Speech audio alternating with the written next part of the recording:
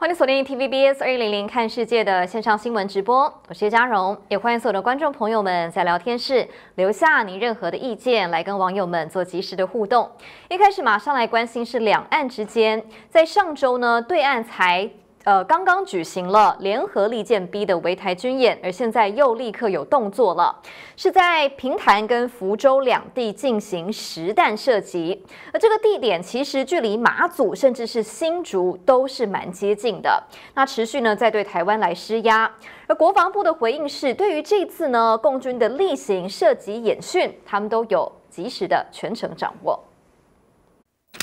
共军对台主力部队东部战区公布照片，空军地导部队实战化演练，声称时刻准备战斗。同时传出疑似因为共军在福建演习，飞往福建福州机场的航班转降温州或厦门，航班延误率百分之百。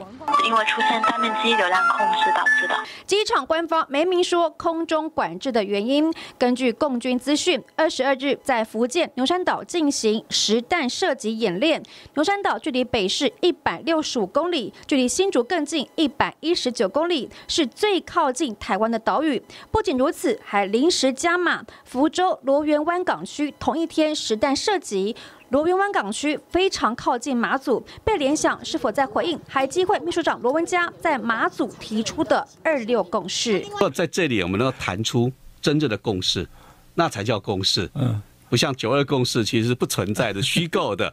那这个共识，也许我们叫二六共识，用这个来谈以后的未来。所谓的二六共识，是在马祖将开放旅游的第二十六个军事据点，并非影射任何台语的谐音。罗文嘉更表示，他爬出了一九九零年至今三十四年来两岸各自重要的文书往来。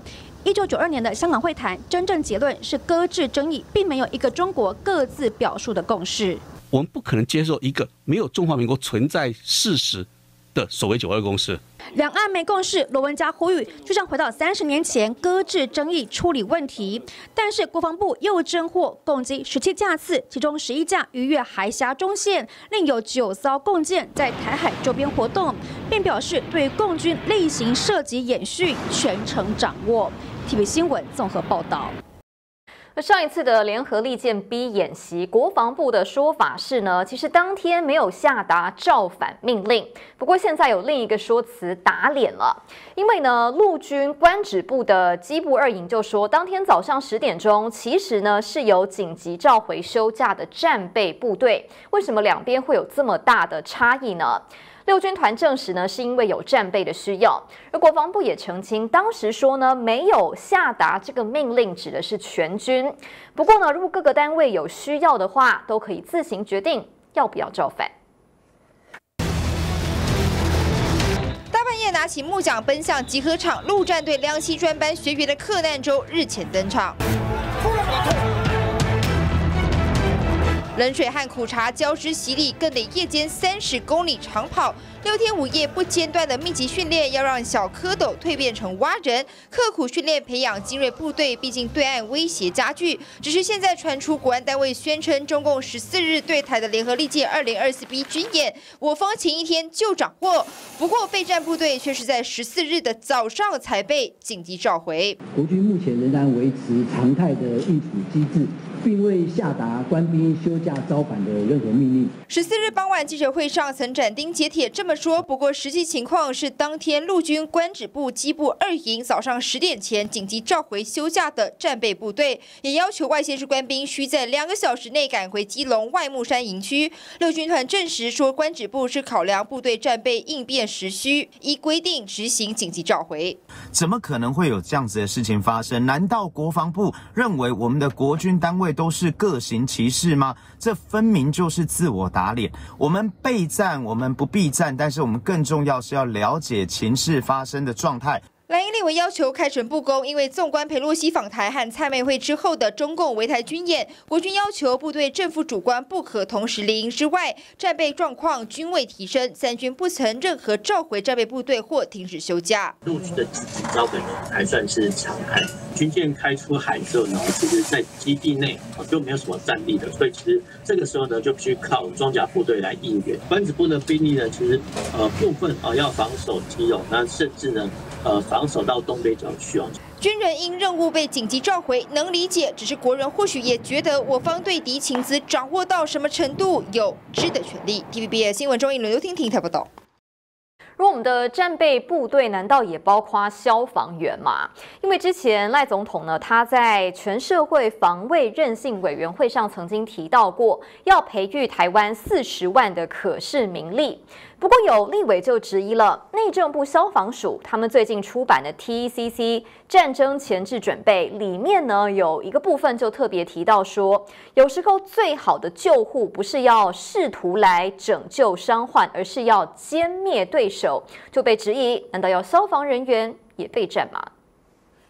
最好的救护不是救试图救援伤患，而是歼灭对手。所以到底是四十万民力还是四十万民兵？记者会变成随堂测验，国民党立委发现，总统在社会防卫韧性委员会表示要组建四十万可靠兵力，但才说不是民兵，却发现连消防人员都要上战场。伊拉克战争与反恐战争造成致命出血的比例跟部位。哦，所以它并不是在描述一个在台湾可能消防上面所遇到的一个困境。所以我们的消防署它现在所编列的这些预算，看起来已经是让我们的消防人员在准备作战了。特别拿出这一本 TECC 教材，使用对象包含消防署，难道要承接军人义务了吗？而且为提升消防人员整体救护安全，预计采购防护装备，包含防护头盔、防穿刺背心三千三百二十六套。我要请问赖清德总统哦，跟我们这个内内政部的部长有买相关的防弹背心、防弹头盔吗？未来要如何在战场上歼灭对手？至于若真要培训，但有让消防人员做好心理准备吗？另外，在任性国家医疗准备计划，总共有九十亿多元的预算，其中卫福部预算有七十六亿，却采用密件处理；内政部的八亿也是密件，仅有国防部的五亿多才调阅得到相关资料。这些钱捐给我们的政府之后，政府却把这个出版业务交给了一个一家由民进党立委助理创办的公司。既然是美国民间的捐款，为什么不肯走公开？开招标不是为了让民进党的友人肥了自己的口袋。从预算到是否全民皆兵，再也诉求要做，就应公开透明，至少让大家先有心理准备。TVB 新闻陈旭年轩台北场报道。赖总统在这个月初，大约是国庆前夕，抛出了令很多人感到震惊的“祖国论”。那我们的民调中心呢做了最新的民调显示，有将近百分之六十的国人是支持这样子的说法的。不过呢，很多人对未来的两岸关系，其实老实讲，并没有太多特别的期待，认为呢跟现在的状态可能还会是差不多的。甚至呢，有人是看坏两岸关系，而且这个比例跟过去相比增加了百分之四。还记得总统日前抛出的“祖国论”吗？就年纪来说，中华民人民共和国是绝对不可能。成为中华民国人民的祖国。尽管前总统马英九不认同，但根据 TVBS 民调，支持度逼近六成，不支持的仅二成六。独派的很多人还是对于赖总统、对于国家的历史是从什么时候开始是有意见的。所以我要请问院长，就是说你们如何去处理这个深绿独派的反弹？身为中华民国台湾的总统，取的就是国家跟人民的最大公约数。不过，国人似乎也心知肚明，未来两岸关系依旧差不多。过去没意见的有百分之四，认为变差变好的仅百分之一。至于总统的国庆演说，我们捍卫国家主权的决心不变。满意度四成九，但不满意的也有四成一，这或许也跟总统的满意度有关系。看看总统就职满五个月，满意度又比百日掉了百分之三，信任度及施政信心也都微幅下滑。至于卓荣泰部分，不满意度维持在百分之三十四，但满意度少了百分之三。另外，卓内阁的不满意度更是高于满意度七个百分点，会是因为有些部会连自己人都。不买单，委营方案这个我不晓得那个过程了哈，但我所知道的是，其实长你不能不晓得啊。这个拜托你回去了解好不好？高铁南延方案为何高雄方案起死回生？陈世凯的不了解，只能靠卓院长救援。院长比部长还了解，请部长要回去加油了。这声加油透露的可能也是自家人的无奈。七月新闻，李国正、焕柔台北报道。而中东人民也非常无奈，这战争到底要打到什么时候呢？我们昨天讲过了，以军现在对黎巴嫩的攻势锁定的是跟真主党有关的金融机构。本来昨天的范围呢，比较是集中在首都贝鲁克，还有呢南部地区，但现在呢，这个攻势范围似乎又更加扩大了。有消息就显示呢，以军在过去二十四个小时是针对真主党的三百多个目标来进行打击，尤其是呢，金融机构的空袭范围不断在扩大。这个金融机构在当地总共有三十多个据点，现在呢，几乎通通都变成了以色列呢首要来攻击的目的地。那以军的参谋总长就提到了，他说呢，会针对真主党跟他们在贝鲁特跟整个境内的金融网络都发动更多的攻击，主要是因为呢，这个金融机构掌握了可以说是真主党的命脉，很多来自伊朗的资金呢都是透过这个组织流通到真主党内部的，甚至呢金额一年经手的现金的来往可能就会高达数十亿美元，也难怪呢，以军希望可以呢从这个。呃，一开始的最底层的地方来斩断他们整个金流链，来瘫痪真主党的运作。不过，除了跟黎巴嫩在打仗之外，他们跟伊朗其实也处得不太好。那甚至最近呢，有消息说他们也准备要对伊朗来展开反击。不过，这个消息应该是呢比较机密的军事情报，但是竟然呢在。整个国际社会已经提前被曝光了，伊朗掌握到了。那伊朗呢？他们派出联合国的代表呢，就透露呢，这个伊朗。他们呃，以色列要攻击伊朗的背后呢，其实是有美国在扶持。美国早就知道这件事了，而且完全没有阻止以色列的意思。甚至呢，总统拜登其实呢是授权以色列去做这样子的攻击。所以伊朗非常生气，他们就批评了美国会为呢煽动以军这种侵略行为。付出代价，因为呢，如果一旦战争开打，很明显会带来灾难性的后果，不只是以军要承受很多的责难。美国作为以色列的盟友，但是呢，竟然没有在这个时候跳出来做出他们应该做的事情，国际社会绝对无法容许。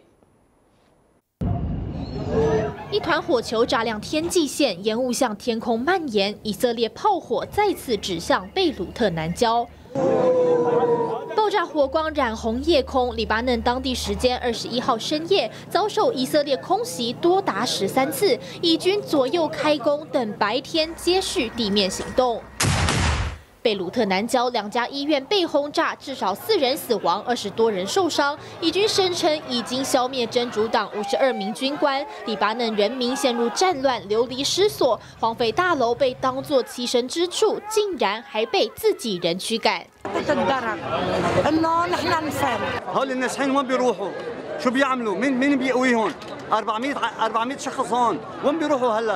以色列打击真主党银行体系，并宣称已故领导人纳斯鲁拉利用医院作为掩护，在地底下打造一座金库。Hezbollah built this bunker directly underneath this hospital. There are hundreds of millions of dollars in cash and gold inside the bunker right now. CNN 报道，这是以色列第一次针对黎巴嫩金融机构袭击，不外乎就是要斩断金源，阻止真主党行动。贝鲁特南部多处金融机构被摧毁，居民不仅家没了，连工作场所都变废墟。混乱局势不减反增，美国国务卿布林肯直接飞往中东展开停火斡旋。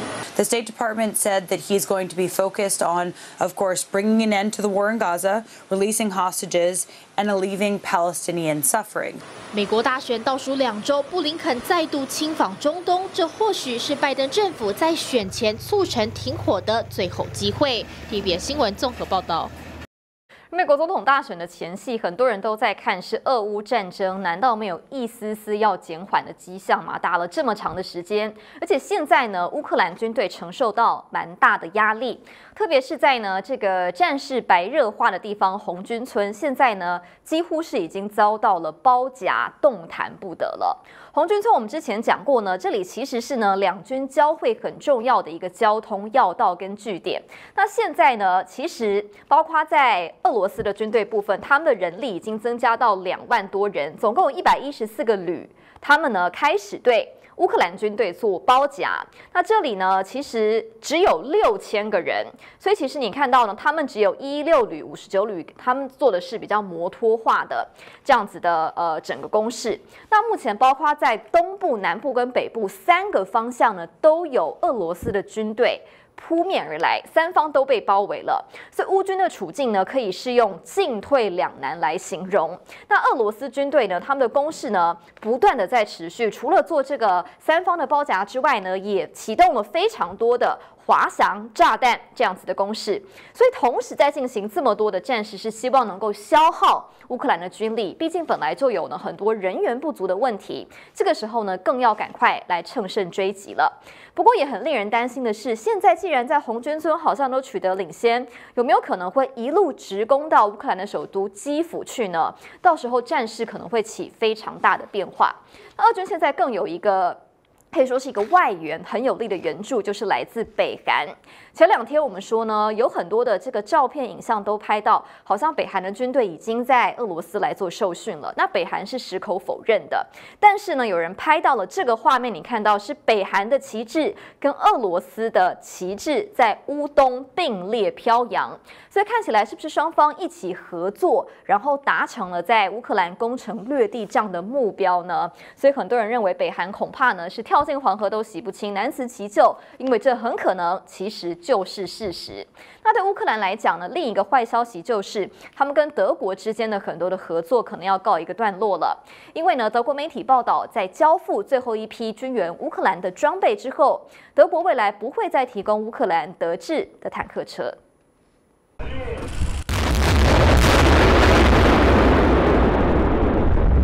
未来在乌克兰战场上，很可能再也看不到乌克兰同时有三辆豹二坦克火炮齐发的壮观场面，因为德国国内传出消息，肖兹政府近期完成军武援助乌克兰之后，将不再提供包括豹二坦克在内的德制军备给乌克兰。德国媒体图片报表示，上个星期肖兹和泽伦斯基会晤后，允诺会在年底前提供乌克兰一批军事援助的声明。但是这批庞大的金额和援助项目，早在去年就已经获得联邦议会。的批准，换句话说，德国是完成在此之前还没有履行的承诺，所以交付给乌克兰的最后一批援助以后，德乌之间已经没有任何新签订的援助清单。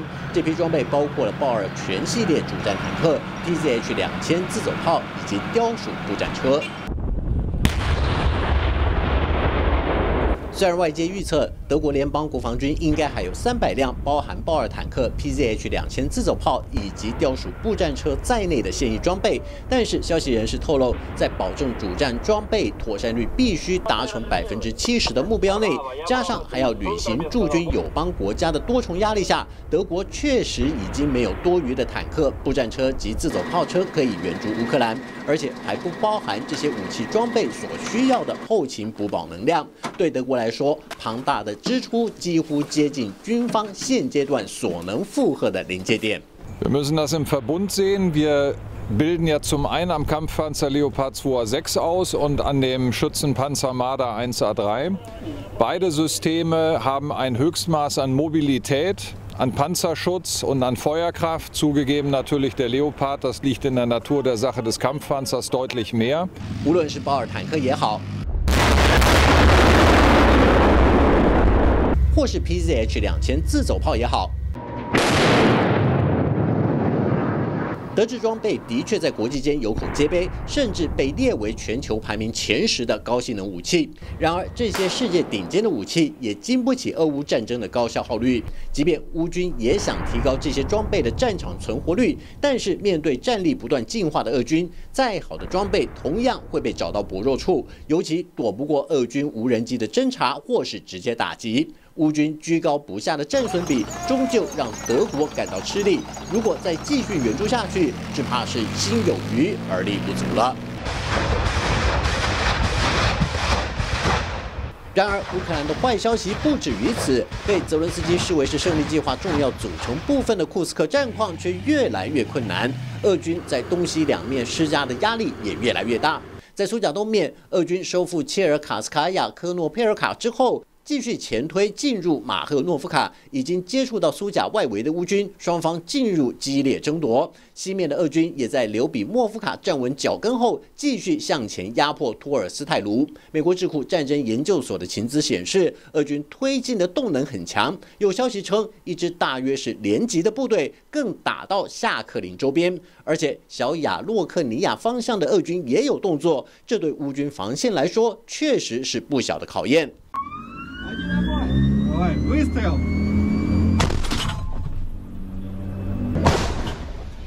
根据车神特战队卡德罗夫军指挥官阿劳季诺夫的说法，俄军攻势之所以如此激进，是要引诱乌军进入战术口袋中，一举歼灭包围圈里的敌人。再回到乌克兰的战场上，红军村南面战事最为激烈的谢里杜河到库拉霍沃一线，虽然近期开始这片区域已经进入下雨和降温期，但是仍有部分乌克兰官兵坚持固守在阵地上。就算防线已经相对空虚脆弱，乌军也毫无畏惧。他们说，受到自然环境的影响，很多条战壕不但有了积水，泥泞的通路也影响了部队的移动。尽管这些军人强调。即便所在的条件非常恶劣，但是老天也很公平，因为敌人的情况同样不会好到哪里去。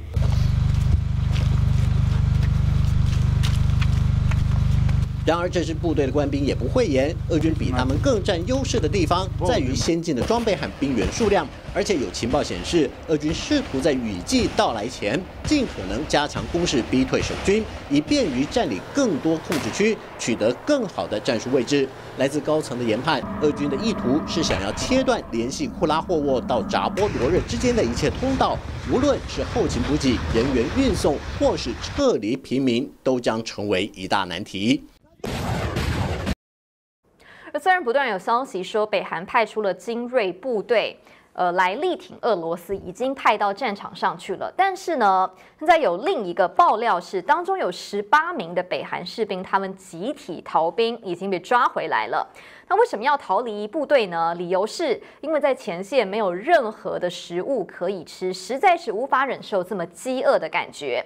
南韩官方呢，除了批评北韩参战违反联合国决议之外，现在呢还决定派员到乌克兰去，来就近监控北韩的军队。行车记录器拍下爆炸瞬间，火光四射，俄军再朝哈尔科夫发射导引飞弹，炸毁住宅与汽车。连续两天夜袭，出动一百一十六架无人机攻击乌克兰首都基辅，其中五十九架被防空系统击落。不过，国际间最关注的还是北韩派兵到俄罗斯参战。乌克兰军方才刚曝光北韩军人在朝俄边境训练中心领物资备战的画面，今天又揭露有十八名派到俄罗斯的北韩军人竟然饿到集体脱逃，跑了六十公里前功尽弃，又被俄军抓回去。북한이러시아의侵略전쟁에가담한것은유엔결의위반이며 국제사회로부터비난받아야할불법적행위입니다南韩国家情报院分析，北韩将派遣约一点二万人兵力参战，而他们则准备派军事情报人员前往乌克兰监视驻扎当地的北韩军队动向。美国警告北韩派兵是危险举动。俄罗斯被问到北韩是否参军，答案却很模糊。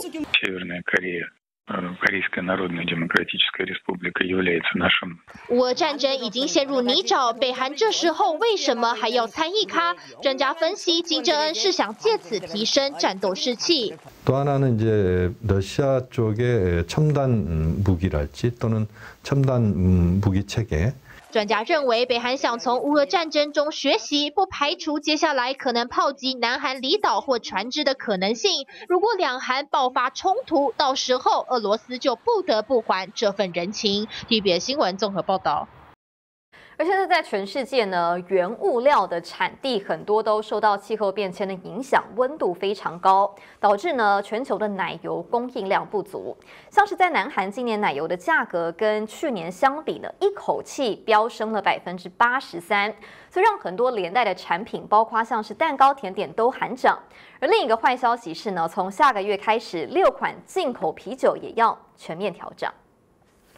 临近圣诞节和跨年，不少南韩民众会买蛋糕庆祝。不过现在想要吃上一口，恐怕要再多掏点钱。연중케이크소비가가장많은연말대목을앞두고버터와생크림수급이들썩이면서빵가격이전체적으로오를수있다는전망이나옵니다今年由于奶油原产地太热，导致产量锐减，价格比去年上涨百分之八十三，蛋糕价格也因此涨到超过台币七百块。而不止蛋糕，接下来这项产品涨价更会 让爱喝酒的南韩民众哀嚎。 통업계에따르면오비맥주는편의점과대형마트에서판매하는 버드바이저와호가든스텔라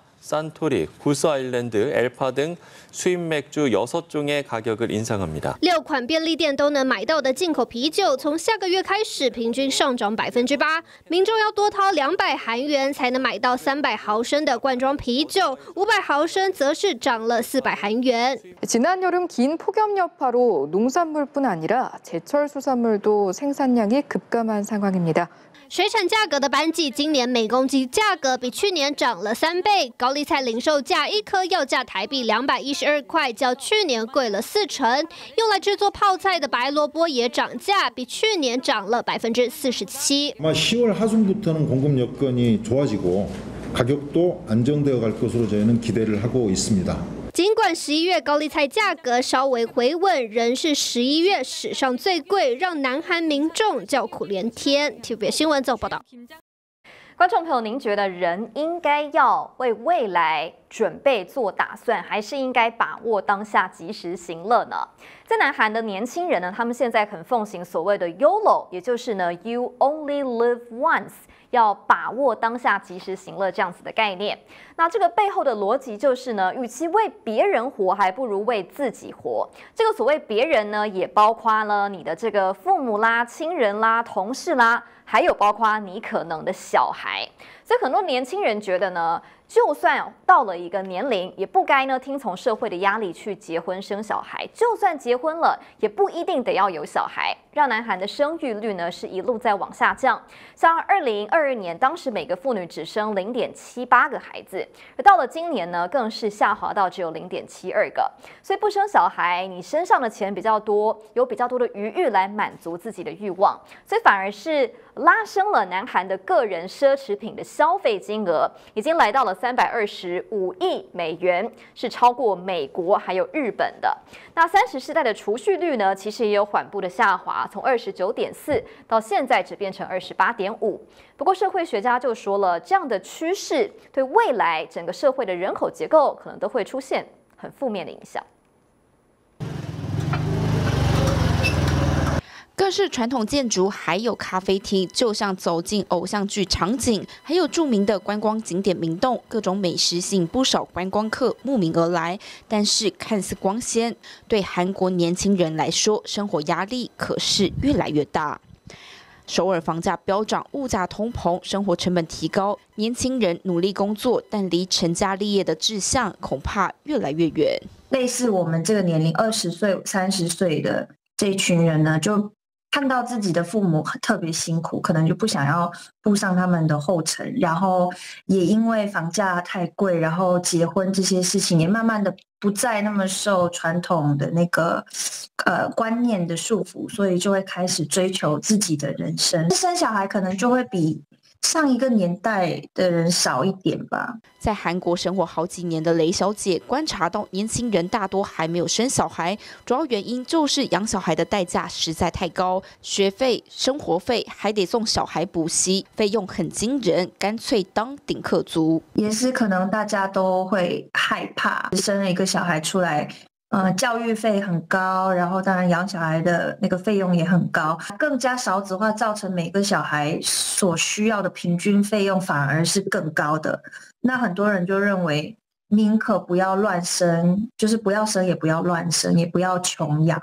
不婚不生逐渐在年轻世代中发酵，现在也有更多人开始当起及时行乐的优老族。这一词呢，是源自于美国，意思就是人生只活一次。而这样的风潮呢，是渐渐开始在韩国盛行。现在的年轻人认为，为别人活不如为自己活，所以过去传统的观念，买房子、生小孩已经渐渐消失。现在他们工作赚钱呢，是来满足自己的物质生活。这样的情况反映在消费数据上。根据统计，韩国平均每人消费在奢侈品上的金额是世界最高。二零二三年，每人平均达到三百二十五美元。相比之下，美国是两百八十美元，日本是两百一十美元。另外，根据现代信用卡资料，韩国在百货公司消费最多的是二十岁到三十岁年轻人，其中二十岁世代近三年来消费倍增，占了百分之十二。呃，因为现在韩国物价通膨比较严重嘛，然后因为少子化、高龄化的状况，所以现在的韩国年轻人，呃呃买不起房子，也不想谈恋爱，也不想。生小孩子有没有？所以他们都及时行乐。就比如说我这个月的话，如果赚了呃三百万韩元的话，他也不想储蓄，就自己过好就好这样子。基本上这个是在台湾或者在韩国都要面对的。只活一次的人生，薪水用来买奢侈品。因为韩国央行统计，三十几岁世代，二零一九年第一季储蓄率是百分之二十九点四，但到了二零二四年第一季，储蓄率下降到百分之二十八点五，连同生育率也持续下降。二零二二年平均。每位女生只生零点七八个小孩，二零二三年更跌到零点七二个。我觉得这个价值观来自于这个现现实环比如说我们讲极端气候、政治动荡、民主危机，然后你说经济贫富差距越来越大，它其实是来自于整个大环境的压力，推了一把，让这一些年轻世代他选择了这样的一个方式去回应，他可能已经表现在他的消费行为，表现在他的休闲活动，表现在他的人生态度上面。其实。出生率越来越低是全球都得面临的课题。从韩国、日本还有台湾来看，房价越涨越凶，但薪资却是年年动涨。韩国走向优柔族，台湾则是月光族增加，但同样都是导致少子化的原因。价值观它有它的正面跟负面。那我们看待年轻时代，我倒认为应该反而从买不起房子。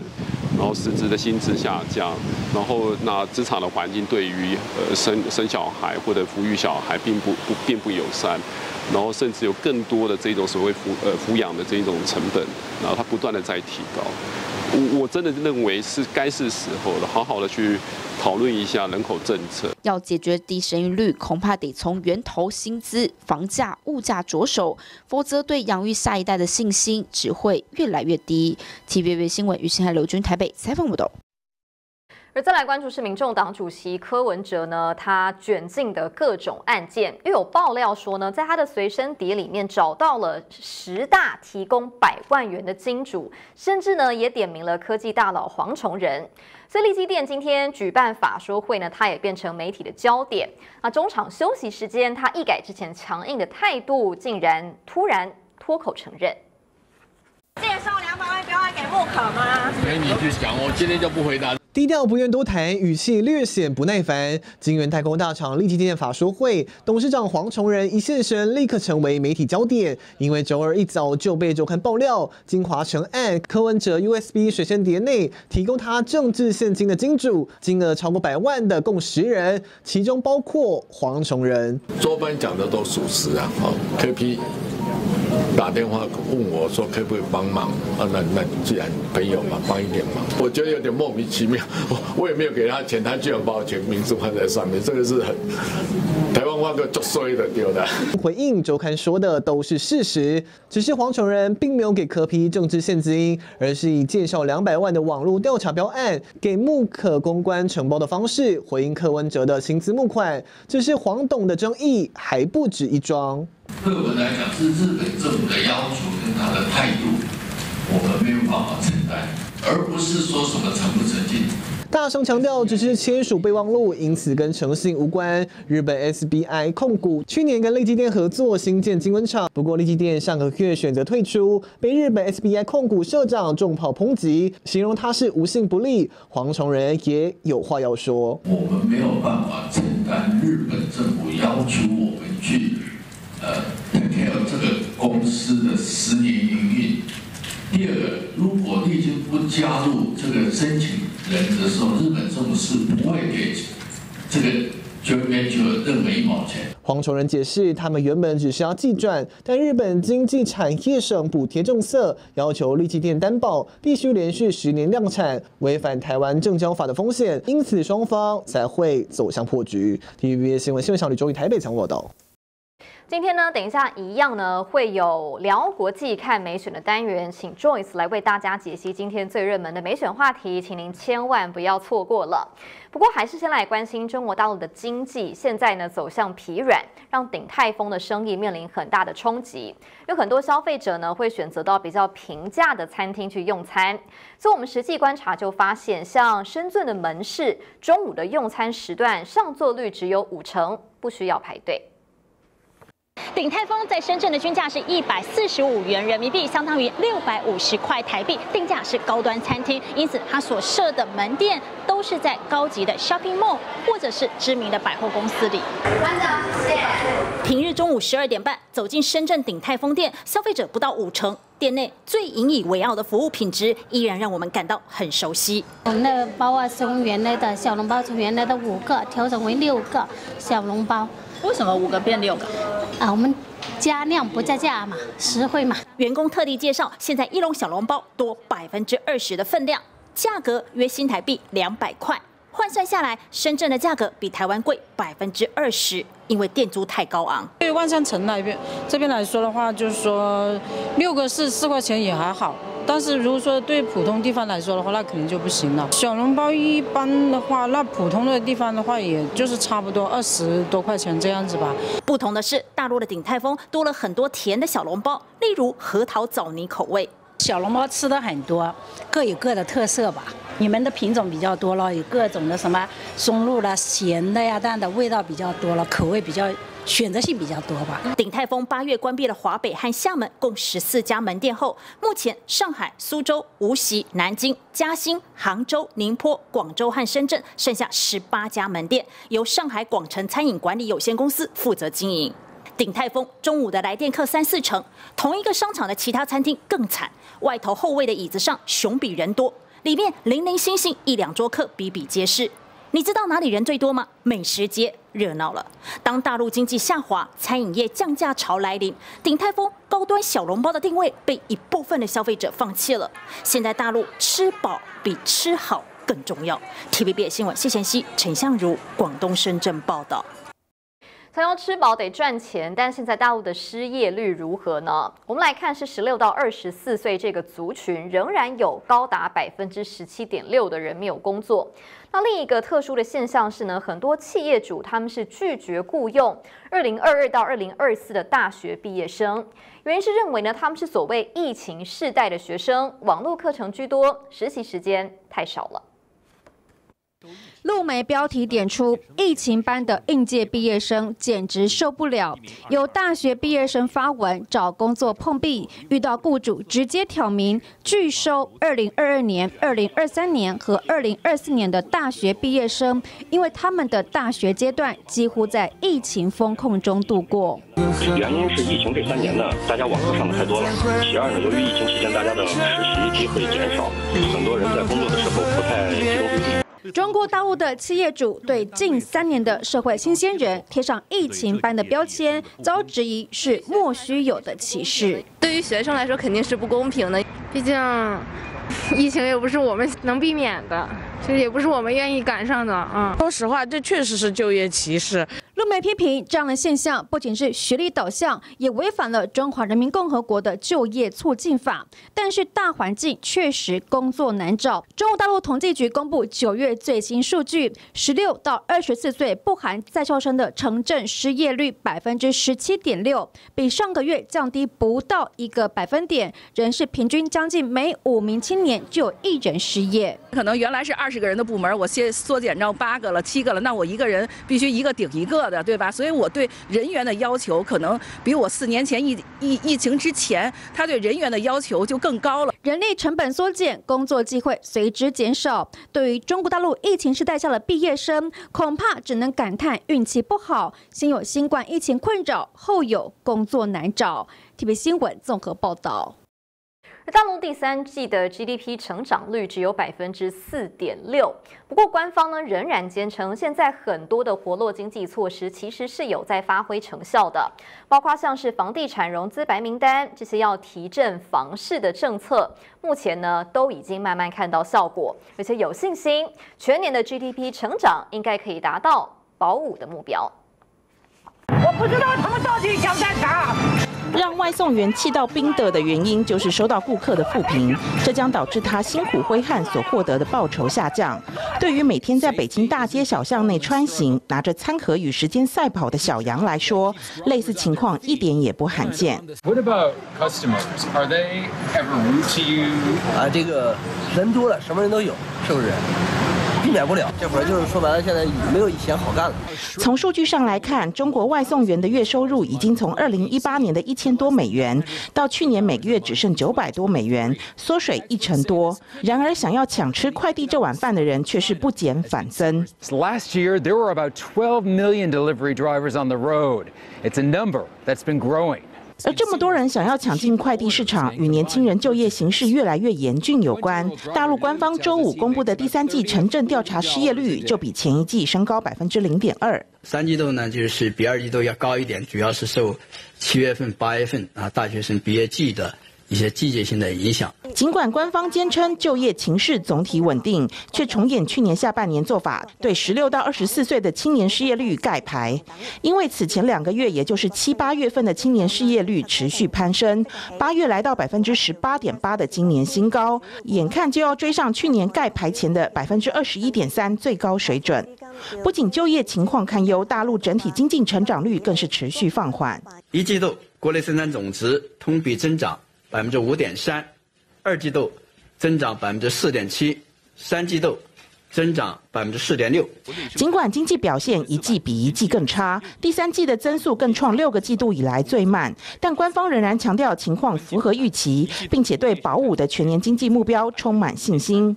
官方还称，从九月的社会消费品零售总额与工业增加值的表现来看，显示部分行业已经开始出现复苏迹象，尤其在房地产市场上更是积极信心喊话。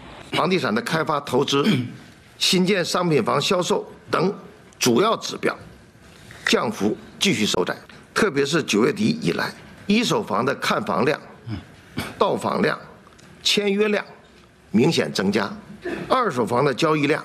持续上升，市场出现了积极的变化。大陆住房及城乡建设部周四召开记者会，试图说服外界官方对于中国房市的大力支持，但明显无法让市场满意。当天中港股市都下跌，地产股更是跌得凶。I don't think that is a strong dose to show off the confidence, especially from a buying perspective. I don't expect any V-shaped rebound because of today's conference. 记者会上所提到的房市刺激政策，包括年底前把房地产融资白名单的信贷规模从当前的二点二兆元人民币扩增到四兆人民币，以及增加一百万套房屋的货币化安置政策，也就是提供现金或者房票，推动城中村或者急需改建的旧屋居民换屋，来加速房地产去库存。但是这些都是已经提出的旧房政策总结，并没有看到更多有利的新措施。Chinese at the fork on the road. They, if they continue with their current model, which is export-led uh, growth, there would be trouble. 除了房地产这个经济火车头提振困难之外，中国经济三驾马车之一的出口，如今也遭遇瓶颈。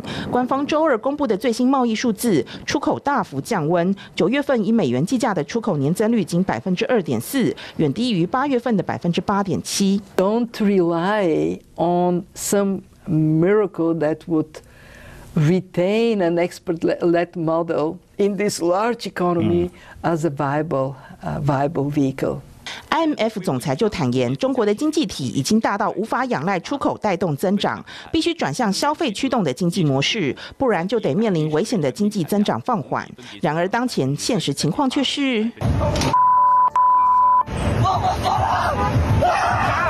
多数民众缩衣节食，连点外送的消费都降低，导致外送员被警察开了一张红单就情绪暴走。而为了赚取足够的钱过生活，外送员一天得工作十二个小时以上，才能接到约三十笔订单，获得大约九百六十到一千两百八十元台币，勉强够活的日薪。这种勒紧荷包的大环境，不仅是外送员，多数的中国中产阶级以下群众恐怕都得面对。TVBS 新闻综合报道。正在网络收看的观众朋友们，欢迎您在我们的频道按下订阅跟分享，让你身边的亲朋好友知道，一起来收看我们的节目。而用电视机收看的话，一样可以拿起手机在聊天室跟我们做互动。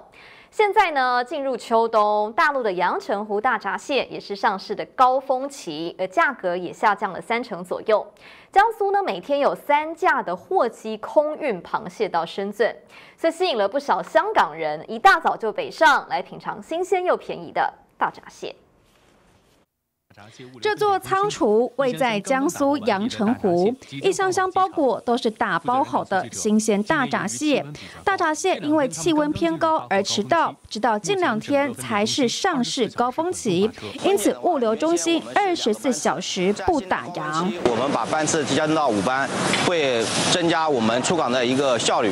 大闸蟹从进港到出港，几乎都能在九十分钟以内进行一个快速的进出。为了保持大闸蟹的新鲜，每天有三架专门货机从江苏运到广东深圳。目前的大概每天进港的螃蟹量。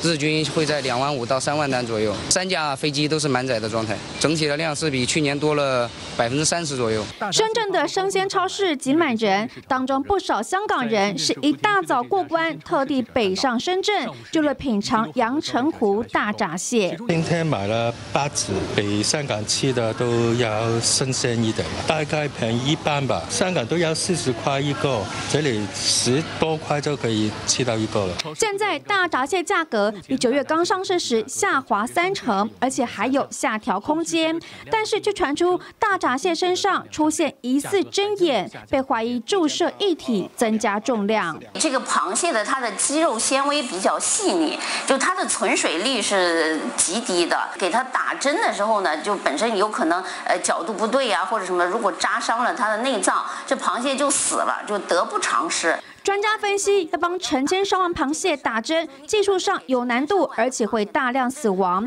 所以，螃蟹的针眼应该是自然生长下与其他螃蟹打斗碰触留下的伤口。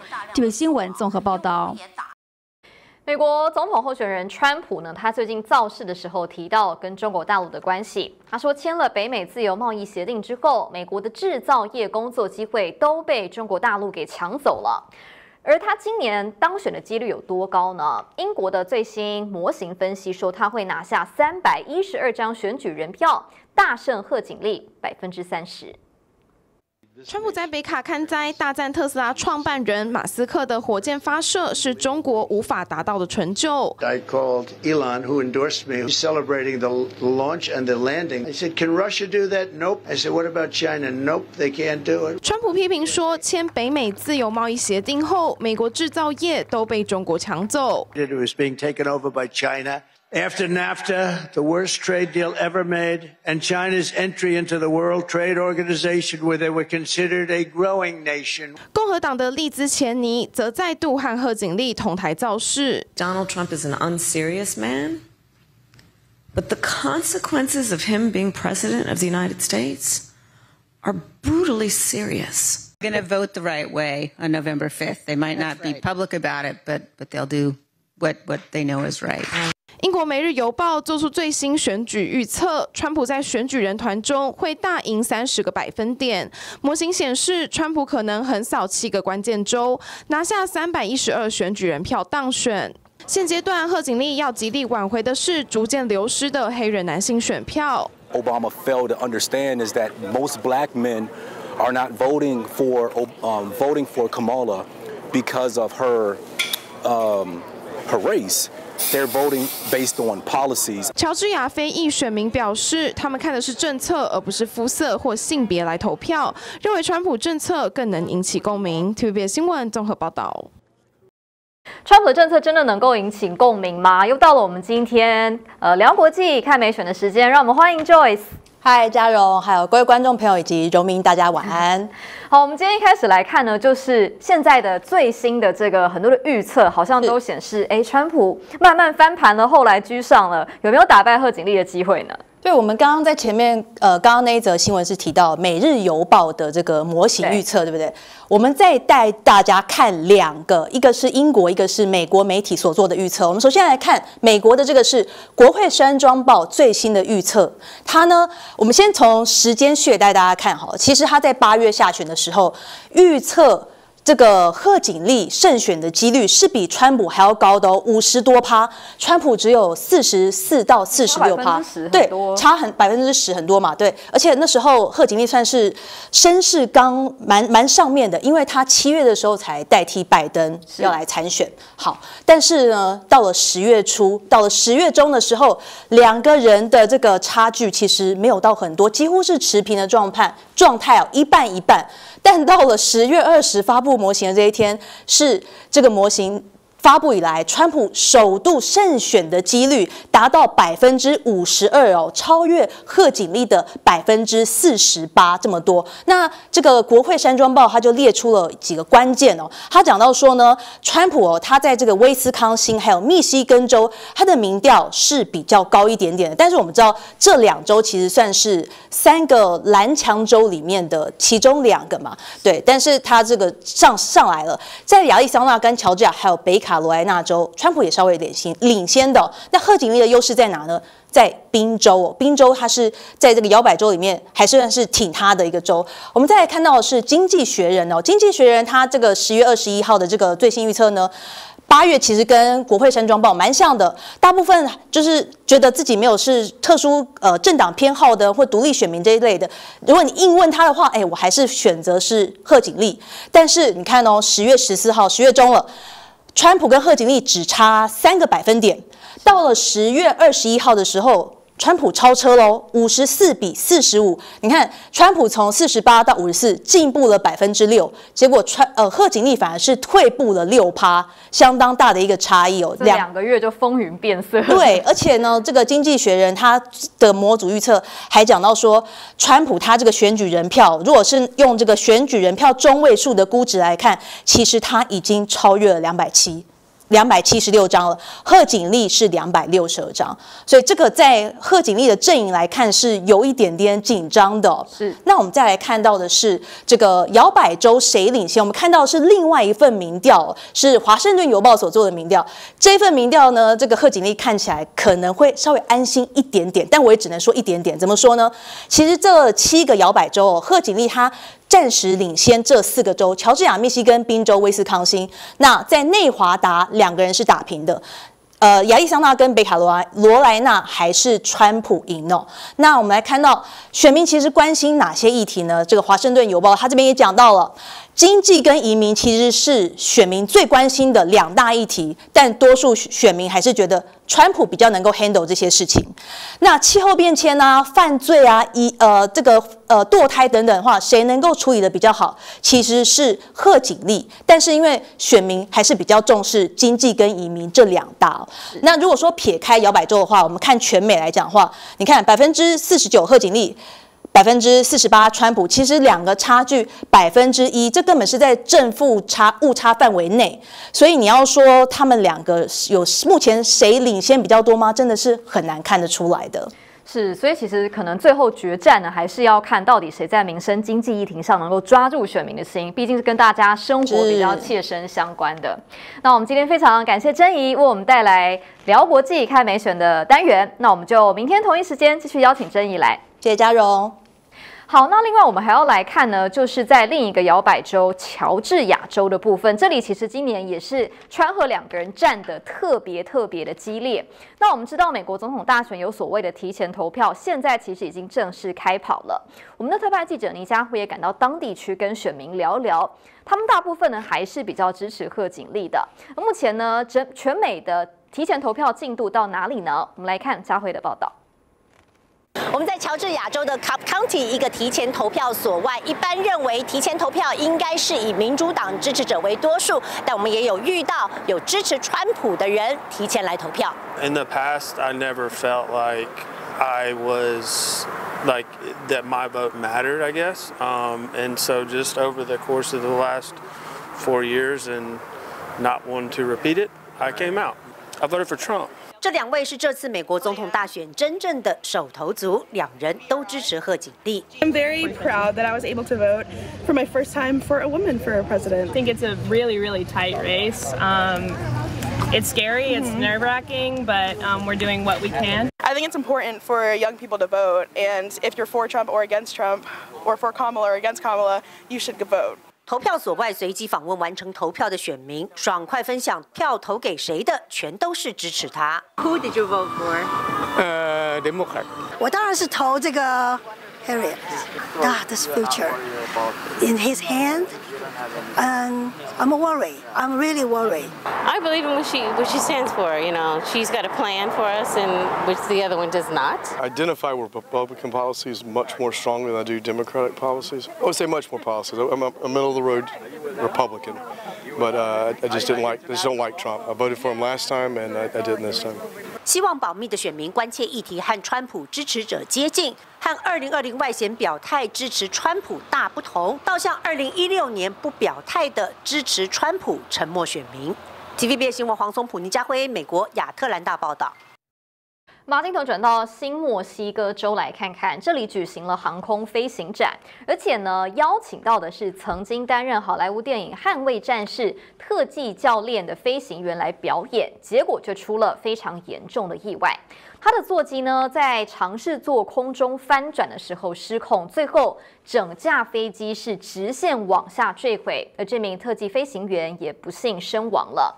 而隔天呢，在德州的休士顿又发生了直升机撞毁电塔的意外，造成四个人死亡。单翼飞机加速奔向天空，伴随音乐在空中帅气连翻三圈，众目睽睽之下突然失去动力，倒栽葱般的直线往下坠。Oh my god! Sending a shitty crash. 这是在美国新墨西哥州举办的航空飞行展，代号 Truck 的特技飞行员受邀演出，一人驾驶双座位特技单翼飞机，才刚大显身手，飞机就失控，坠落在机场附近约八百公尺处。Ladies and gentlemen, we have emergency crews on their way. 目击民众陷入慌乱，忍不住尖叫。来自加州的 Chuck 飞行时间超过一万小时，还曾担任阿汤哥的电影《捍卫战士》当中演员的特技飞行教练，经验丰富却命丧最爱的飞行。航空展也紧急喊卡，没想到隔天在德州休士顿一架直升机撞上无线电塔。撞击画面曝光，夜空中炸裂一道闪光，直升机和无线电塔双双坠落。I didn't know if it was a chemical explosion or if there was, I didn't know what had happened. So my immediate thought was just to honestly get in my car and evacuate. 直升机坠毁，引发熊熊大火，机上四人全数罹难，其中一人还仅是儿童。This particular airplane does not have a flight data recorder. 美国国家运输安全委员会介入调查，但缺少关键黑盒子，必须花更多时间采集证据，厘清事故原因。TBS 新闻综合报道。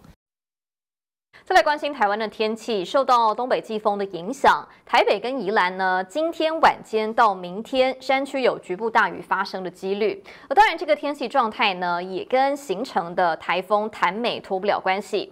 目前它距离台湾呢有超过一千多公里，不过因为东北风再加上外围环流的共伴效应影响，所以呢，预计周四周五呢，宜兰花东地区雨势恐怕会很剧烈，那甚至山区会达到豪雨等级以上的降雨。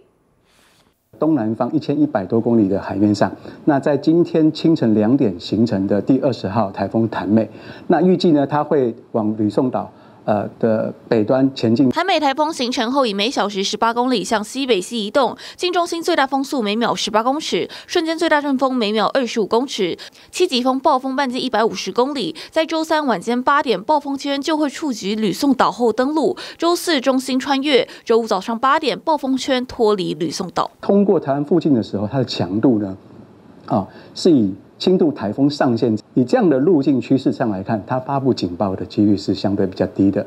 气象专家林德恩分析，太平洋高压提早东退，北方高压接手导引，台美向西的运动分量增加了，速度也快六到十二小时，路径越往南修，影响台湾最显著时间提早到周三到周五。气象粉砖台湾台风论坛天气特辑也说，台美穿越菲律宾进入南海这段时间，外围环流移入中央山脉阻隔，宜花东恒春、基隆北海岸、台北东侧这六个地点雨时长雨势也很大。虽然台美离台湾蛮远的，但要小心。外围环流和东北风符合形成的共伴效应。降雨趋势图看，周二、周三东北风增强，北东宜兰会有大雨或豪雨，最剧烈的时候就在周四周五，东北风加外围环流，宜花东山区都下到发紫发白，其中宜花东山区可能会有豪雨等级以上降雨。周六虽然趋缓，但东侧还是有局部豪雨。We'll see the rainfall, the heaviest rainfall, even though you're probably only going to see somewhere in the ballpark of about 50, 60 kilometer per hour winds. You're going to see some spots now over 500 millimeters of rainfall. CNN 预估在吕宋岛部分地区累积雨量达到500毫米，届时吕宋岛南部可能看到淹水灾情。这几天要到吕宋岛旅游也要注意安全。TV 新闻王新浪、董明浩、曹任，新闻小组台北采访报道。TVBS 新闻直播回到 YouTube 频道了，提醒您每周一到周五的晚间七点到九点，由新化主播为各位新闻划重点，记得一定要来参加直播。